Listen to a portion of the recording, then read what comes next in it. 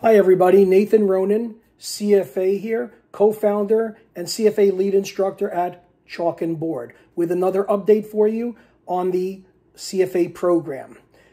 Today, the CFA Level 1 results for the May 2023 exam came out on here today on June 27th, and the pass rate was 39%, just 1% higher than the results on the February 2023 exam. I'd like to talk to, to you about that for a second, if you, especially if you did not pass the exam. So this uh, video is dedicated to those people that did not pass the exam. So if you pass the exam, this isn't probably is not really relevant to you, and you can watch my other video on that on YouTube.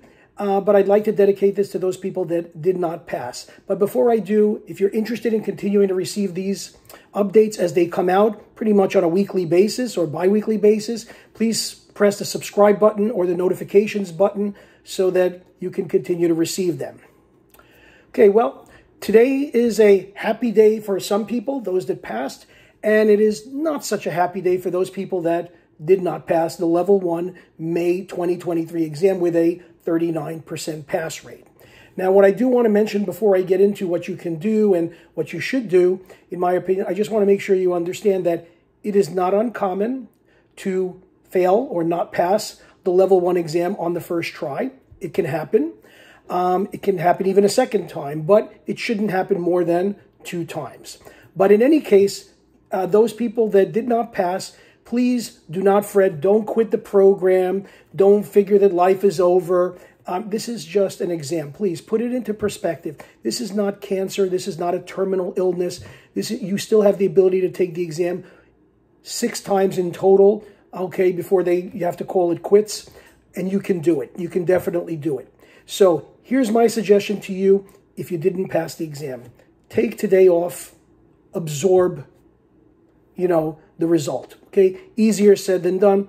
Maybe even try to stay off social media and watch all the Academy Award winners on LinkedIn or Instagram, you know, posting their results and that they were in the 90th percentile, or and thanking mom and dad and sister Susie and Uncle Bob and the dog and the cat and the parakeet and their third grade teacher.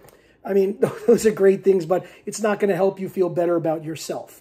So the thing to do right now is to try to feel better about yourself, realizing that you will have your moment. You'll be able to be that Academy Award winner as well, and that you can definitely pass this in November. Okay. Now, this is my suggestion to you if you didn't pass the exam.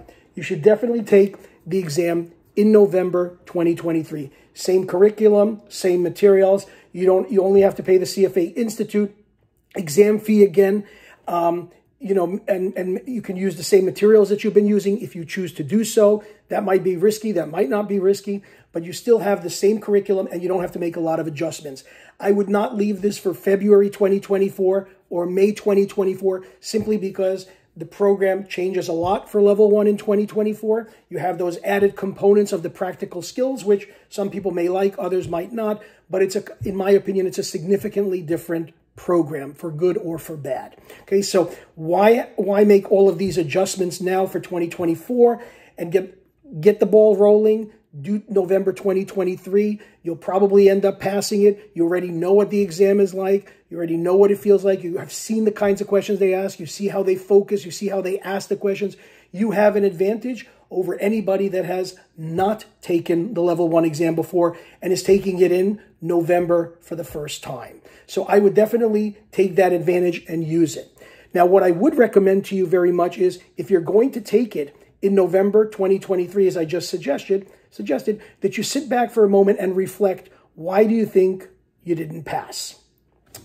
Um, there's no control over your results. You can't contact CFA Institute, send them an email, complain, whine, moan, ask for your, you know, your exam to see what you did wrong. Forget about it. Your result is you didn't pass. Second thing, don't overanalyze the results page, those, those two pages of results that you get, where you were in each of the areas compared to everybody. Just take a look at where you didn't do well, where you did well. And, and remember, that does not mean, because you don't want to fail this another time. That does not mean that, oh, I didn't do well in fixed income. So now I'm going to take the exam in November and I'm just going to focus on fixed income or I'm just going to focus on fixed income and portfolio management and I'm going to ace the exam in November. The questions in November are going to be different. The pot of people taking the exam in November is going to be very different. A lot of people make this rookie mistake and they try to forget to study everything evenly. They don't have a structure, they don't have a study plan. They're just going to bash the areas that they didn't do well on the May exam, hoping that in November the results will be much better. And you know what? Sometimes those areas that you overemphasize will go up, but something else will come down. And many times you'll be sitting for this a another time, a third time, or even a fourth time. You don't want to do that. So don't focus like that. That's not the appropriate way to pass the exam. What I would suggest to you is look at the approach that you used to study. Did you put in enough time? Did you really study? Did you do enough mock exams? Did you really focus on the CFA Institute's resources? Did you over rely on prep books? Did you over rely on one prep provider? And did you have a structure? Did you just read the CFA books? Did you just read prep books? Did you have really a structure in place, a format? Did you really have any kind of focus?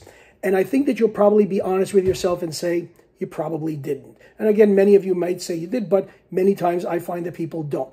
And then what I would do is I would actually come and talk to me. I'm happy to speak to you. You can reach me on my website, chalkandboard.org. That's C H A L K and A N D board, B-O-A-R-D dot org, chalkandboard.org. It has my email. You can send me a message there. It also has my phone number there. You can reach out to me. I will be happy to help you pass that exam in November. I will give you a structure. I will give you a format.